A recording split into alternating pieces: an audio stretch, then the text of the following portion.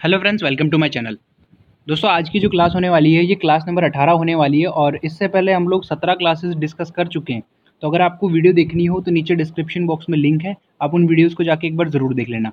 I B P S R R B pre के लिए classes मैंने दी हैं आपको अभी तक की। और जितनी भी वीडियोज़ है, एक बार ज़रूर देख लेना चैनल के ऊपर एग्ज़ाम से पहले। बहुत हेल्प मिल जाएगी आप लोगों को। आज की जो वीडियो होने वाली है, इसमें हम लोग DI के बारे में बात करेंगे। और आपके कमेंट्स भी आ रहे थे पिछले दो तीन वीडियो पे कि, सर DI करवा दो। तो चलिए आज DI को हम लोग कंप्लीट कर लेते हैं और इसके बाद में जो नेक्स्ट वीडियो होगी, इसमें हम लोग कंपाउंड इंटरेस्ट और सिंपल इंटरेस्ट उसको भी कंप्लीट कर लेंगे, है ना? तो ये वाला टॉपिक बचा हुआ है, इसको भी हम लोग नेक्स्ट वीडियो में कंप्लीट कर लेंगे। टाइम कितना बचा है हमारे पास में? लगभग दस पंद्रह दिन बचे हैं हमारे पास में। पंद्रह दिन तो मैं नहीं कहूँगा, लगभग बारह दिन ही हमारे पास में बचे हैं। और अब बारह दिन में हमें एक्सेलरेट तो करना होगा। एफर्ट को अब डबल करना होगा, क्योंकि ये जो टाइम है यार, ये वापस नहीं आने वाला है। अगर ये आप लोगों ने मिस कर दिया ना बारह दिन तो फिर ये अगले साल तक आपको वेट करना पड़ेगा। और अगर आप चाह रहे हो कि नहीं, हम तो अगले साल तक वेट कर सकते हैं तो फिर आपकी मर्ज़ी है। नहीं तो सिलेक्शन हमें इसी बार लेना है। तो चलिएगा ज़्यादा टाइम वेस्ट नहीं करेंगे, हम लोग सीधा डीआई के क्वेश्चन के ऊपर चलेंगे। उससे पहले मैं आपको बता दूँ कि यार मॉक टेस्ट लगा लो। अब बहुत कम टाइम बचा है आप लोगों के पास में। पंद्रह मॉक टेस्ट मिल जाएँगे आपको। ये परीक्षा ऐप है, इसको आप लोग डाउनलोड कर लो। ये कूपन कोड ग्राम को भी फोर्टी इसको यूज़ करोगे तो पंद्रह मॉक टेस्ट आपको मिल जाएँगे एक सौ में। और बहुत सस्ते हैं। सबसे अच्छी बात क्या है इन मॉक टेस्ट की? कि ये आपको एग्ज़ाम के लेवल के ही क्वेश्चन करवाता है। ये एडवांस लेवल तक के क्वेश्चन नहीं देता है कभी भी। एग्ज़ाम के लेवल के क्वेश्चन आपको मिलेंगे और आपकी इससे बेहतर तैयारी हो पाएगी। एग्ज़ाम का लेवल से ज़्यादा लेवल के क्वेश्चन की प्रैक्टिस करते हो नंबर नहीं आते डीमोटिवेट होते हो, कोई फ़ायदा नहीं उस चीज़ का। उसी लेवल तक की तैयारी करो जिस लेवल का एग्ज़ाम हमारा होने वाला है। अब यहाँ पे मैं एक और चीज़ आपको बता दूँ कि हमारा जो एग्ज़ाम होने वाला है ना, वो प्री लेवल का होने वाला है। तो मैंने जो क्वेश्चन लिए हैं, वो प्री लेवल के एग्ज़ाम को ही ध्यान में रख के लिए हैं। हालाँकि ये सारे के सारे क्वेश्चन आरआरबी के एग्ज़ाम में आए हुए ही क्वेश्चन है। और प्री एग्ज़ाम में ही आए हुए क्वेश्चन है तो ये अपने आप में अप, खुद ही अपने आप में प्री के एग्ज़ाम के लेवल के हो गए हैं। तो चलिएगा ज़्यादा टाइम वेस्ट नहीं करेंगे पहले क्वेश्चन के ऊपर चलते हैं। कैसलेट डीआई है इसको कर लेते हैं। अब ये डीआई मैंने इंग्लिश में भी लिखी है तो एक सेकंड वेट करिएगा मैं वो भी दिखा दूँगा। लिखा हुआ है कंपनी में कुल पाँच विभाग हैं। वित्त विभाग में कर्मचारियों की संख्या नब्बे है। जो कर्मचारियों जो कंपनी में कर्मचारियों की कुल संख्या का पच्चीस प्रतिशत है। कर्मचारियों की कुल संख्या के दो बटा नौ भाग कर्मचारी मानव संसाधन विकास में कार्यरत है। विक्रय विभाग में कार्यरत कर्मचारियों की मानव संख्या मानव संसाधन में कार्यरत कर्मचारियों की संख्या से 25 प्रतिशत अधिक है। सुरक्षा एवं आवास विभाग में कार्यरत कर्मचारियों की संख्या का संगत अनुपात चार अनुपात पंद्रह है। सॉरी चार अनुपात पाँच है। अब ये कैसे डी आई है, इसको आप लोग एक बार ट्राई करना चाह रहे हो तो ट्राई कर लो। और इंग्लिश में आपको चाहिए तो इंग्लिश में यहाँ पे लिखी हुई है, बस थोड़ा सा यहाँ पे एक करेक्शन है। ये जो टू बाई सेवन है, इसको आप हटा के टू बाई नाइन कर लीजिएगा। ये टू बाई नाइन है टू बाई सेवन नहीं है। ठीक है? इसको करेक्शन मैंने कर दिया है। बाकी सब कुछ सेम लिखा हुआ है यहाँ पे। एक बार आप लोग ट्राई कर लो। और अगर ट्राई कर लिया है और बना लिया आपने किस तरीके से, बनाया जाएगा वो, ये भी मैं आपको बता देता हूँ। देखिएगा, दोनों तरीके से बताऊँगा, हिंदी और इंग्लिश में। पहले हिंदी वाला देख लेते हैं। उसने क्या बोला है कि कंपनी में कुल पाँच विभाग हैं। चलिए थोड़ा सा मैं जूम कर देता हूँ इसको। तो ये बोल रहा है कि कंपनी में पाँच विभाग हैं। तो मैंने यहाँ पर लिख दिया टोटल फाइव डिपार्टमेंट उसके बाद में बोल रहा है कि जो वित्त विभाग में कर्मचारियों की संख्या कितनी है? नब्बे है। तो मैंने क्या लिख दिया? वित्त लिख दिया और इसमें मैंने कितना लिख दिया? नब्बे लिख दिया। समझ में आ गया यहाँ तक? चलिएगा। उसके बाद में बोल रहा है कि कर्मचारियों की कुल संख्या का पच्चीस प्रतिशत है। कौन? जो वित्त विभाग में काम कर रहे हैं।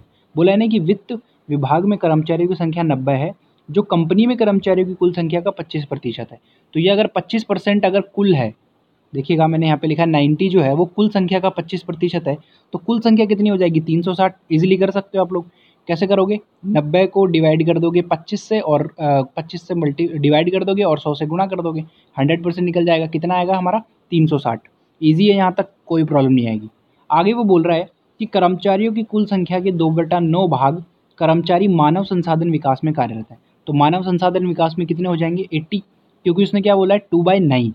तो टोटल कितना है? Three sixty three sixty multiply by two by nine divide कर लेंगे हम लोग फोर्टी टाइम्स और फोर्टी को टू से मल्टीप्लाई करेंगे तो एट्टी आ जाएगा। तो मानव संसाधन भी पता लग गया हमें, कोई प्रॉब्लम नहीं आई।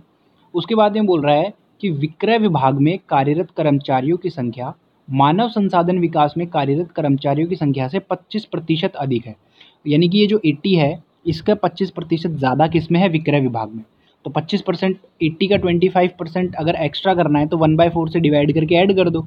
तो वन बाय फोर से डिवाइड किया 80 को तो कितना आ गया? ये 20 और ट्वेंटी को एट्टी में ऐड कर दिया तो कितना आ गया? हंड्रेड तो विक्रय विभाग में कितने बंदे हो गए? हंड्रेड यहाँ तक कंप्लीट है।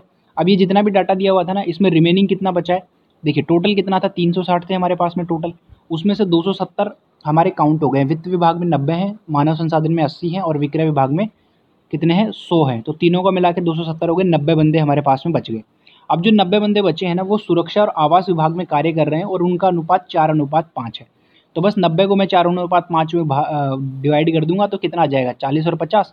तो सुरक्षा में कितने? चालीस और आवास में कितने? पचास। कंप्लीट हो गया यहाँ पर डाटा अब आपसे कोई भी क्वेश्चन पूछे, आप लोग इजीली कर दोगे। इंग्लिश में मैंने यहाँ पे पूरा का पूरा लिख दिया है। फाइनेंस डिपार्टमेंट में नाइन्टी हो गए, जो कि ninety is twenty five percent of total तो टोटल नंबर ऑफ़ फाइनेंस यहाँ पे टोटल नंबर ऑफ़ एम्प्लॉयज़ कितने हो जाएँगे? थ्री सिक्सटी हो जाएँगे। उसके बाद में बोल रहा है एच आर डी यानी human human resource develop department वाला। ह्यूमन रिसोर्स डिपार्टमेंट में एट्टी है और वो एट्टी क्या है? टू बाई नाइन है थ्री सिक्सटी का तो यहाँ पे मैंने लिख दिया है तो एट्टी हो गया और ये twenty five percent more than H R D है तो यहाँ पे ये हंड्रेड हो जाएगा। रिमेनिंग सेम नाइन्टी हो जाएगा और दोनों को डिवाइड कर दिया मैंने फोर इज़ टू फाइव में सिक्योरिटी पे फोर्टी और एच डी पे कितना? फिफ्टी अब ये एच डी क्या है? एच डी है आपका हाउसिंग डिपार्टमेंट समझ गए यहाँ पे? चलिएगा। डाटा कंप्लीट हो चुका है। डी आई हमने कंप्लीट बना ली है। कुछ भी नहीं था इस डी आई में और आपको मैं बता दूँ कि ये आई बी में आई हुई डी आई है। प्री एग्ज़ाम में। आई बी पी के प्री एग्ज़ाम में आई हुई डी आई है। आप लेवल देख सकते हो आप खुद कितना लेवल का क्वेश्चन आएगा। क्वेश्चन करते हैं एक चलिएगा। क्वेश्चन वो बोल रहा है कि मानव संसाधन विभाग में कार्यरत कर्मचारियों की संख्या, सुरक्षा विभाग में कार्यरत कर्मचारियों की संख्या से कितना प्रतिशत अधिक है? H R D is more than Y what percent of security department यानी कि जो एच आर डी है, उसमें जो बंदे काम कर रहे हैं, वो सिक्योरिटी डिपार्टमेंट से कितना परसेंट ज़्यादा है? तो एच आर डी में कितने काम कर रहे हैं? एच आर डी में हम लोग देख लेते हैं, कितने काम कर रहे हैं? एट्टी। एच का मतलब क्या है? यहाँ पे मानव संसाधन विकास।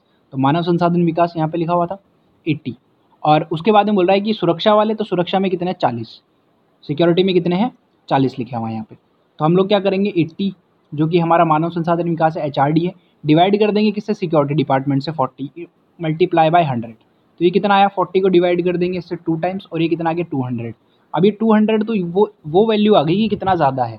अब कितना ज़्यादा है? हंड्रेड परसेंट ये ज़्यादा हो गया। आंसर क्या आएगा? हंड्रेड परसेंट इस तरीके से भी आप सॉल्व कर सकते हो कि एचआरडी अगर एट्टी है और हमारा सिक्योरिटी वाला फोर्टी है तो एचआरडी जो है ना कितना ज़्यादा है? यही तो पूछा है उससे सिक्योरिटी से। तो एचआरडी कितना है? फोर्टी ज़्यादा है। कहाँ से? फोर्टी से। तो आप इस तरीके से भी सॉल्व कर सकते हो उसको तो फोर्टी फोर्टी डिवाइड हो जाएगा हंड्रेड परसेंट आंसर आ जाएगा। इस तरीके से अगर डिवाइड करते हो ना तो टू हंड्रेड आपके पास आएगा और टू हंड्रेड में से फिर आपको हंड्रेड परसेंट माइनस करना पड़ेगा। तो अगर आपको ये तरीका पता है तो आप कर सकते हो, नहीं तो सिंपल फोर्टी बाई फोर्टी करके भी आप इसको सॉल्व कर सकते हो। और आप कोई भी क्वेश्चन आ जाए इस डीआई का, आप लोग कंप्लीट डाटा आपके सामने है, आप लोग ईजिली बना लोगे। चलिएगा नेक्स्ट डीआई के ऊपर चलते हैं। ज़्यादा क्वेश्चन मैं नहीं ले रहा हूँ यहाँ पे।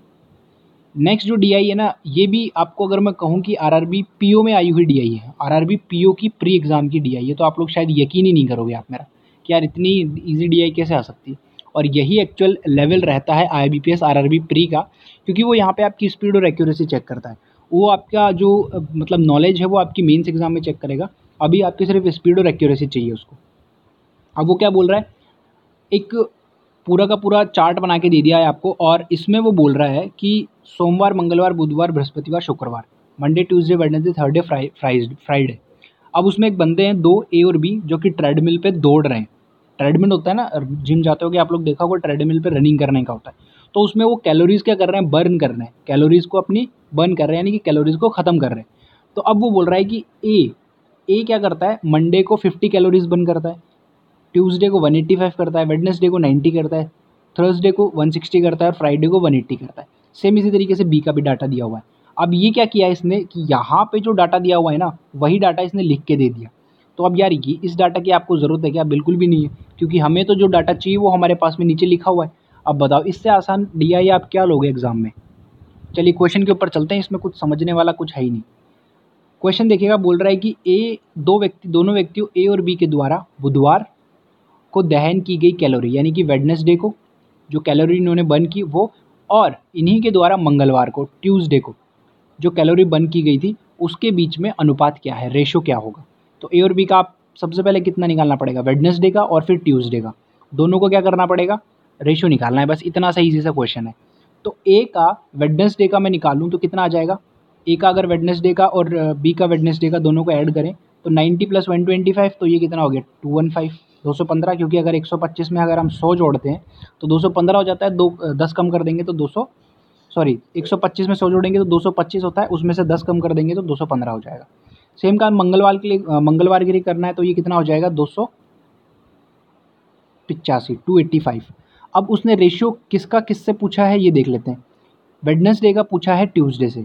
तो अब आप सॉल्व कर लो इस क्वेश्चन को, और अगर आपने कर लिया हो तो चलिए वेडनेसडे को कितना था? 215 और ट्यूसडे को कितना है? दो सौ पचासी।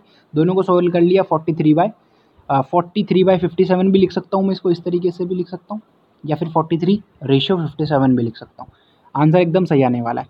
I B P S R R B का लेवल है, फिर से मैं आपको ये याद करा देता हूँ, रिमे, आपको मैं बता देता हूँ कहीं आप लोग ये ना समझो कि ये जो क्वेश्चन मैं करवा रहा हूँ, ये मैंने बस इजी इजी से क्वेश्चन करवा दिए। ये उसी का लेवल है, उसी के दिए हुए क्वेश्चन है, वही हम लोग सॉल्व कर रहे हैं यहाँ पे। चलिए एक और क्वेश्चन सॉल्व कर लेते हैं इस चीज़ से। वो बोल रहा है कि यदि ए एवं बी द्वारा दहन की गई कैलोरी की संख्या में शुक्रवार की अपेक्षा शनिवार को 10 प्रतिशत एवं 20 प्रतिशत की वृद्धि हो गई तो उनके द्वारा शनिवार को दहन की गई कैलोरी की कुल संख्या क्या थी? If the number of calories consumed by A and A and B was increase by ten percent twenty percent respectively on Saturday then Saturday then Friday what was the total number of calories burn by them on Saturday वो ये बोल रहा है कि अगर Friday को क्या करता है? ए अगर हंड्रेड बर्न करता है ना तो वो सैटरडे को कितनी करेगा? इससे टेन परसेंट ज़्यादा। तो ये उसकी फ्राइडे की है और ये उसकी सैटरडे की। सेम इसी तरीके से बी के लिए भी फ्राइडे में जो भी होने वाली है वो वो ट्वेंटी परसेंट एक्स्ट्रा हो जाएगी। तो चलिए डी आई पे चलते हैं। तो फ्राइडे को देखना है ए के लिए। तो ए के लिए फ्राइडे को कितना है? वन एट्टी तो one eighty plus one eighty का टेन परसेंट कितना हो जाएगा? एटीन और बी के लिए बोल रहा है वन फोर्टी फाइव तो वन फोर्टी फाइव का ट्वेंटी परसेंट कितना होगा? ट्वेंटी परसेंट का मतलब one by five. One by five का मतलब हो गया वन फोर्टी फाइव को फाइव से डिवाइड करेंगे तो फाइव टू ज़ा टेन और ये हो गया हमारा ट्वेंटी नाइन। बस दोनों को ऐड करना है और आपसे पूछा क्या है वो देख लेते हैं।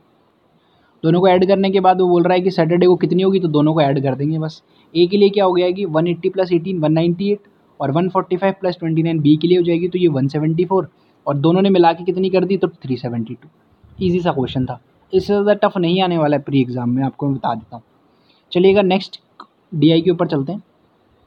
ये पाई चार्ट है आपका एक तरीके का, और R R B P O का है ये डी आई फिर से मैं बता दूँ कि R R B P O का आया हुआ डी आई है ये। आप लोग देख लीजिएगा लास्ट ईयर के जो क्वेश्चन पेपर थे पिछले दो तीन साल के, उन्हीं क्वेश्चन पेपर में से मैंने ये क्वेश्चन उठाए तो लेवल भी आप लोगों को साथ साथ मैं बताते चलूँ कि किस तरीके का रहता है। अब देखिएगा, यहाँ पे एक चार्ट बना के दे दिया, एक पाई चार्ट बना के दे दिया इसने, और इसमें डिवाइड कर दिया इसने टी पी क्यू आर और एस को अलग अलग परसेंटेज में।